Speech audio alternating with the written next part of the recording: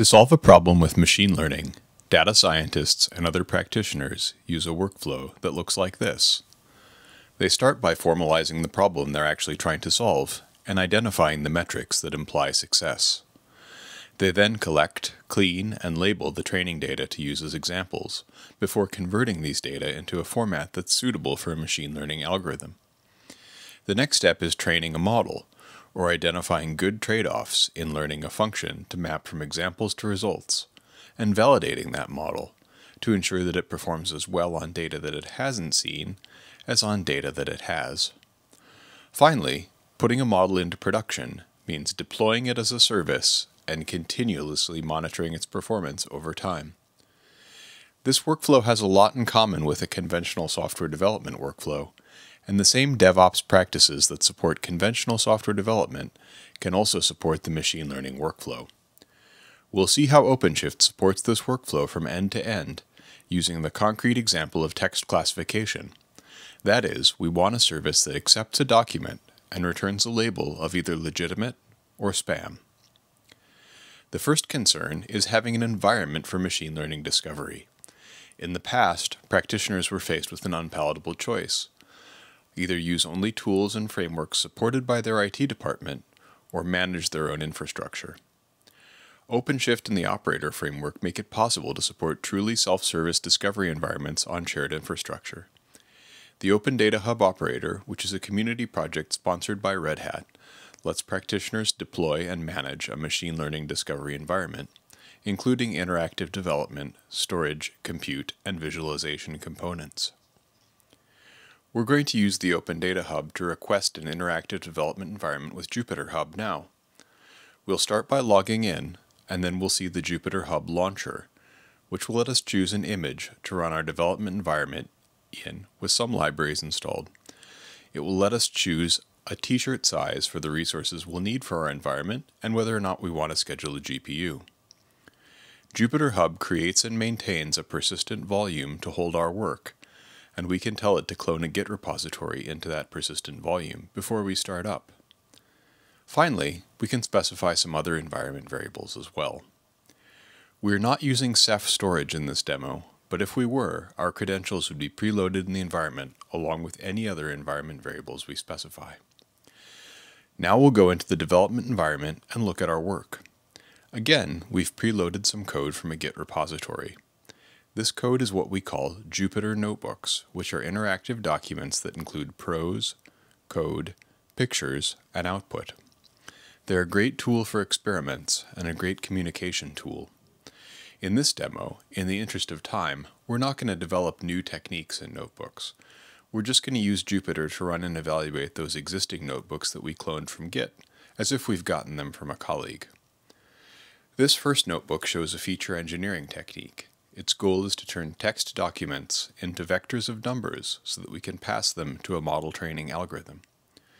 Basically what we want to see here is that there's some separation between the vectors corresponding to legitimate documents and the vectors corresponding to spam documents, and that's what this visualization shows us at the bottom of the notebook. The next notebook actually trains a model. That is, it finds good trade-offs in separating the vectors corresponding to legitimate documents from the vectors corresponding to spam documents, and thus learns a function to label documents. When we're evaluating this model, we want to look at some of its performance metrics on data it hasn't seen. We'll look at two in this notebook, a confusion matrix, which shows us how often we predicted the right labels along one diagonal, and how often we predicted the wrong labels along the other diagonal. We can also look at the F1 score for this model, which is very good. So these notebooks seem to have reasonably good results. But notebooks are interactive documents. They don't look all that much like software artifacts.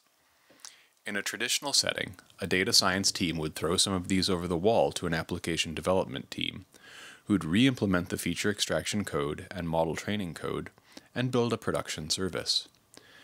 But there are all sorts of reasons why the app dev team might not even be able to reproduce the results in a notebook.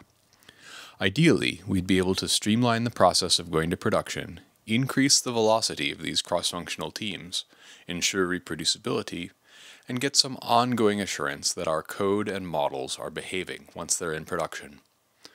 If we were dealing with conventional software, we'd use CI CD and other DevOps techniques to achieve this, and things are no different with machine learning. Let's see how to use OpenShift's developer experience to improve the efficiency of our machine learning team. We're going to set up an OpenShift build corresponding to our whole machine learning pipeline here.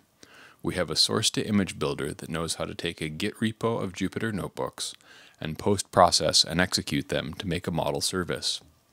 In this case, we're going to specify our machine learning pipeline in terms of notebooks. The first is going to be that feature engineering notebook that goes from text documents to vectors. And the second is going to be that model training notebook that goes from labeled example vectors to a function to label new vectors with either legitimate or spam. We'll train a model in the build and then create a service that takes text, uses the feature extraction technique from the feature engineering notebook to produce a vector, and then uses the model to make a prediction based on that vector. We've already launched a build here, so we actually have an internal service running in our OpenShift project to make predictions. Let's see what it looks like. We'll interact with this service from a Jupyter notebook to interactively demonstrate how other services in our application might call out to it. In this first cell, we're just defining a very basic client function for our service. This function takes some text and uses it to make an HTTP post to our service, returning the predicted value.